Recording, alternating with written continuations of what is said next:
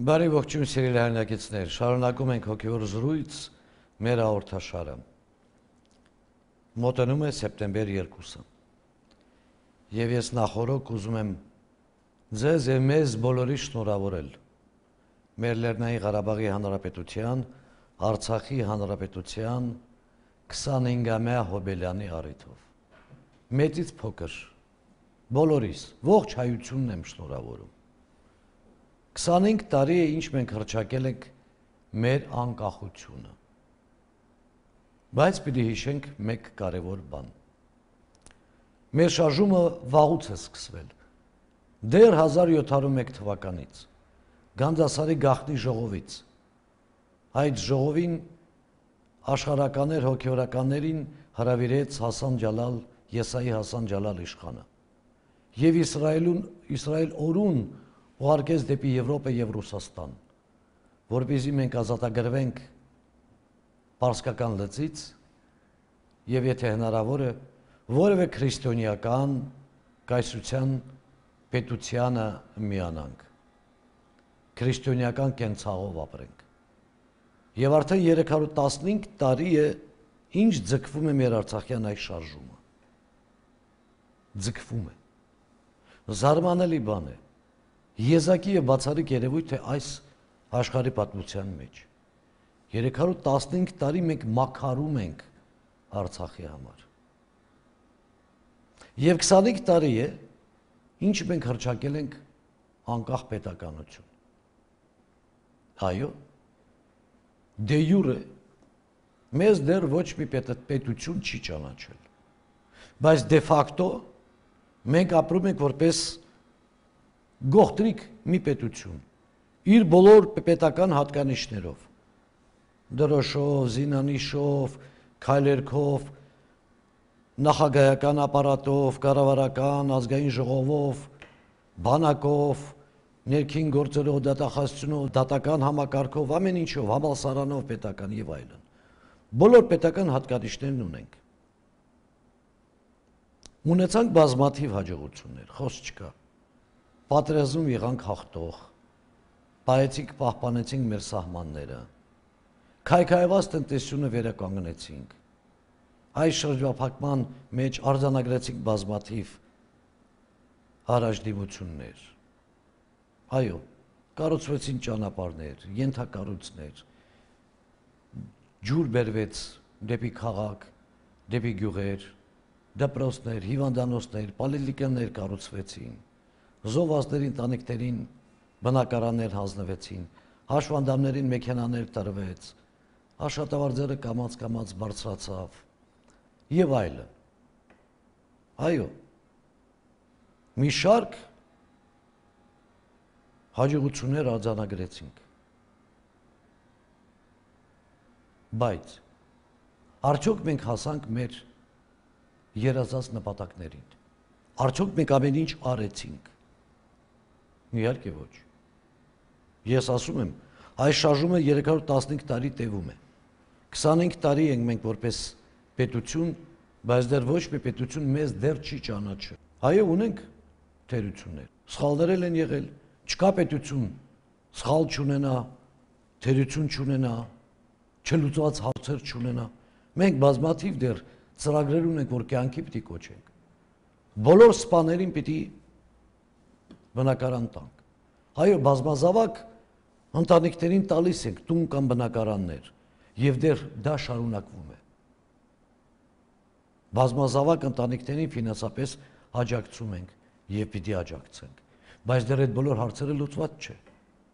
Կան մի շարք սոցիալական հարցեր։ Բայց մենք շատ հզոր, շատ հարուստ պետություն չենք, որ 5 տարվա մեջ կարողանանք բոլոր խնդիրները լուծել։ Ֆրանսիան, որ իր ներքին համախառն արդյունքը տարեկան տրիլիոն դոլարներով է հաշվում։ Բազմաթիվ սոցիալական խնդիր ունի։ Տարօրինակ է, որ Միացյալ Նահանգներն ունեն այդ խնդիրները։ Այսօր Գերմանիան ունի, Անգլիան, Ամերիկան ունի։ Ամենահարուստ երկրներն են աշխարհի։ Չեմ ասում լեն Ռուսաստանի մասին։ Մենք էլ պիտի ունենանք։ 20 տարի հետո էլի նորից պիտի որոշակի խնդիրներ ունենանք։ Մենք միամիտ չլնենք, պատրանքով չապրենք։ Ճիշտ է, ամեն մի ժամանակահատված պիտի ունենա իր մարտահրավերները։ Այսօր մեր մարտահրավերներից մեկը նա է, որ մենք դպրոցը օշտենք համակարգիչներով։ Այսօրվա կյանքն է դա թելադրում։ Չի կարող այսօրվա երիտասարդը ապրի առանց համակարգչի, առանց ինտերնետի։ Դա նվազագույն պահանջն է այսօրվա կյանքի, համաշխարային կյանքի։ Եվ դա մենք լուծում ենք։ Հա։ Դժվար է ամեն ուսանողին ամսական թոշակ տալ 50-60 հազար դրամ։ Մենք առայժմ ի վիճակի չենք։ Հայը ունենք այդ տկար թերի կողմը, բայց առայժմ ի վիճակի չենք։ Չեք կարող, չեք կարող այսօր ի վիճակ չենք բոլորին ձրի բժշկել եւ վիրահատել եւ բոլորին ձրի բարձրագույն կրթություն տալ։ Այո, ունենք խնդիրներ տարբեր ոլորտներում։ Բայց պիտի հասկանանք տարբեր սուբյեկտիվ, օբյեկտիվ պատճառներ եւ հասկանանք։ Եթե օբյեկտիվ պատճառներն են մեր որոշ թերությունների տկարների, դա հասկանալի է։ Եթե սուբյեկտիվ պատճառներ կան, այ դրանք պիտի մենք հարթեցնենք սուբյեկտիվ պատճառները չպիտի առիթ դառնան, որ մենք ինչ որ հարցեր չլուծենք եւ գտնվենք տկար վիճակում։ Սուբյեկտիվ պատճառները կարող են լինել կամ օրենքի ոչ 100%-անոց մշակված ձևը կամ դա մարդկային գործոն է։ Այս մարդը թերի գտնվեց, չկամեցավ, սխալ գործեց մենք պիտի աշխատենք, շեշտը դնենք, չզոքացնել բոլոր սուբյեկտիվ պատճառները, դրթապատճառները։ Օբյեկտիվ, օբյեկտիվը ո՞րն է։ Մենք շրջափակման մեջ ենք։ Բարդ պատճառներից մեկն է։ Դեռ չճանաչված պետություն ենք։ Բնական է, որ ինվեստիցիա ներդրումները շատ չեն կարող լինել։ Մենք ռիսկային գոտում ենք գտնվում։ Բնական է, որ 100-200 միլիոն դոլարներով ոչ ոք ինվեստիցիա չի անի, որտեղ ռիսկային գոտում ենք։ Կարող է պատերազմ լինել, նորից վերսկսվել։ Սրանք օբյեկտիվ պատճառներ են։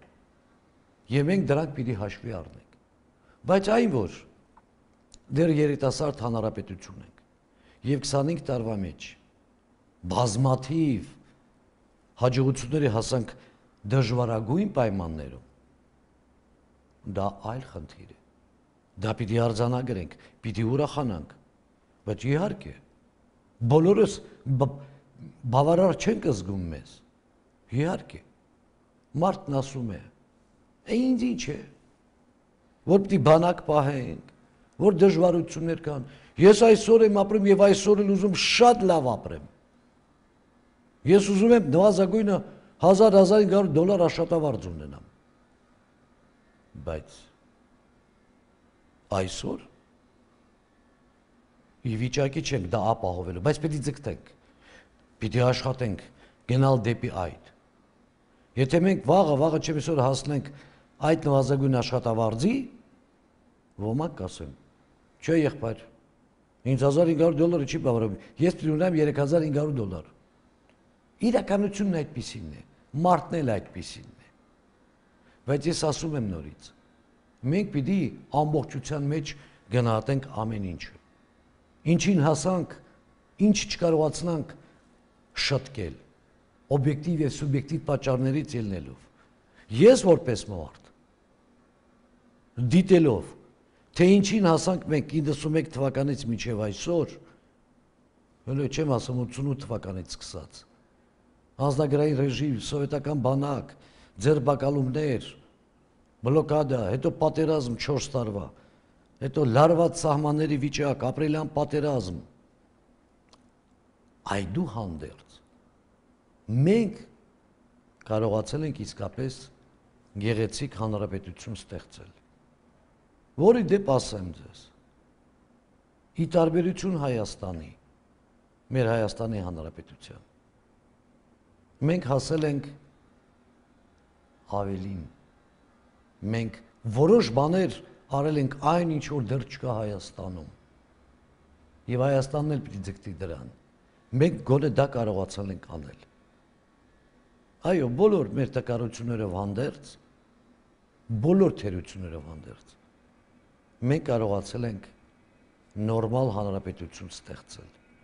որը շատ դժվար է եղել։ Բարդ է եղել։ Բայց այս ամենը, որ մենք ստեղծել ենք միասին, համբերություն է պահանջել, իմաստություն, որոշումներ կայացնել, ռիսկի գնալ։ Եվ մեզ դա հաջողվել է։ Եվ ես ուրախ եմ, որ ես Արցախում եմ ապրում, որպես հայ, որպես արցախցի, որպես այս երկրի քաղաքացի։ Ես սիրում եմ իմ այս գողտրիկ հանրապետությունը, որպես մարդ։ Ես այստեղ ինձ շատ հանգիստ եմ զգում։ Մտնոլորտը այստեղ այլ է։ Ուրիշ աուրա ունենք այստեղ։ Եվ ես ուզում եմ դա գնահատել այսպես։ Ինչպես եմ ես ինձ զգում Հայաստանում, Ռուսաստանում, Միացյալ Նահանգներում, Ֆրանսիայում, Բելգիայում եւ Գերմանիայում եւ Վրաստանում։ Գտնվելով Արցախում հոգեպես եւ ֆիզիկապես ես շատ լավ եմ ինձ զգում։ Եվ ոչ միայն ես, դա բոլորն են վկայում։ Այո, նորից եմ կրկնում։ Դեր գյուղեր կա հələ դեռ կրկնակի երակի ձևով պիտի ջուր ապահովենք։ Գյուղեր կա որ ճանապարհներ պիտի գցենք, ասֆալտ լինի, ցեխը ժողովրդին դժվարություն չպատճառի, աշխատավարձներ պիտի կարողանանք բարձրացնենք եւ այլն։ Այո, սոցիալական խավային տարբերություններ կան, ոմանք ունևոր են, ոմանք չքավոր են, ոմանք չունևոր են, բայց հիմնականում իմի բերելով ես դրական եմ այս ամենը գնահատում։ Որտեւ այս դժվարությունները ճեղքելը եւ սրան բերելը հաշվի առնելով մեկ բան, ամեն պատերազմից հետո ամեն երկիր ունի հետ պատերազմական սինդրոմ։ Ավ աֆգանական սինդրոմ, վիետնամական, կորեական եւ այլն, չեչենական սինդրոմ։ Այն երկիրը, որ պատերազմով անցնում է, շատ մարդիկ զինված են լինում։ Արյունախում են դառնում։ Բարեբախտաբար մենք այդ Ղարաբաղյան սինդրոմը չունեցանք, որը շատ կարևոր է մեզ համար, ու շատ կարևոր է խմբապետների ջոկատներ չունեցանք այստեղ։ Ամեն մեկը զորբայությամբ, զենքով իր ջոկատերով իր հարցերը լուծի։ Կամ սկսենք մեկը մյուսի հետ հարցերը հատրճանակով լուծել։ Գոնե դրանից զերծ մնացինք, որը շատ մեծագույն նվաճում է մեզ համար։ Եվ երկրորդը տոկոսային հարաբերությամբ, եթե համեմատենք բոլոր զարգացած երկրների հետ, մեր հանցագործությունները շատ ցածր են շատ ցածր են եւ դա միջազգային դառումով շատ-շատ գնահատելի է ասում եմ զարգացած պետություններ չեն կարողանում դրան հասնել մենք դրան էլ ենք հասել դրա համար երբ որ մենք պիտի հայացք նետենք պիտի կարողանանք եւ լավագույն կողմերը տեսնել որոնք դժվար է դրան հասնել եւ նույն մեր թերությունները Պիտի տեսնենք օբյեկտիվ եւ սուբյեկտիվ պատճառները։ Այո, իդեալին պիտի ձգտենք։ Ոչ ոք իրավունք չունի ինձ զրկելու իմ իդեալական մտածմունքներից։ Այո, ես այսօր եմ ուզում իդեալական պայմաններ, բայց ես պիտի իրատես լինեմ։ Կհասնեմ դրան թե ոչ։ Եթե ես հաշվարկ եմ անում, ես պիտի հասկանամ, քանի տարի հետո իմ աշխատավարձս կարող է կրկնապատկվել։ Մեկ տարում հնարավոր չէ երկու տարվա մեջ հնարավոր չէ։ Ես պիտի իրատես լինեմ, բայց նորից եմ ասում։ Ես ուզում եմ իսարտե մեզ բոլորի շնորհավորել այս կանչելի հոբելյանի առիթով 25-ամյա 25 տարին պետության համար ներեցեք դա տարիք չի մարդ որ 25 տարեկան է ասում ենք դեռ դեռ երիտասարդ է դեռ իմաստություն չունի դեռ հզոր չի դեռ պինդ չի, դեռ կայուն չէ։ 25 տարին շատ քիչ ժամանակ է անկախ նորաստեղծ պետության համար, որը պատերազմի բոցից ծնվեց։ Եվ այդու հանդերձ մենք ունեցանք իսկապես անկեղծ խոստովանեմ բազմաթիվ աներևակայելի հաջողություններ։ Մեզանից պահանջվում է մի քանի բան։ աշխատասիրություն, հայրենասիրություն, համբերություն, միաբանություն, որպեսզի մենք կարողանանք մեր վերջնական նպատակին հասնել եւ պիտի հասնենք։ Հասնելու ենք, քանզի մեր գործը արդար է, ազնիվ է, սուրբ է։ Աստված մեզ մեն մենակ չի թողնի։ Մենք հասնելու ենք մեր իդեալական Արցախի հանրապետությանը, որն էլ այսօր ինձ համար արդեն նաև շատ-շատ մարդկանց, որոնք այցելում են Արցախ, արդեն նմանվում է մի փոքրիկ դրախտավայրի։ Մի քիչ էլ համբերություն, մի քիչ էլ քրտինք ու ջանք եւ մենք կունենանք ավելի սքանչելի եւ գեղեցիկ հանրապետություն։ Ես ձեզ բոլորիդ շնորհավորում եմ։ Ամենաբարին եմ մաղթում եւ աղոթքով սպասում եմ մեր նորանոր մեծագույն հաջողությունների։ Տեր ընձես